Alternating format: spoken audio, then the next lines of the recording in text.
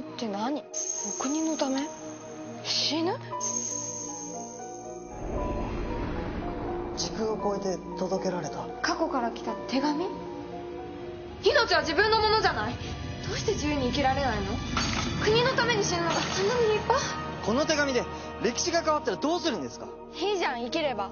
ありがとう。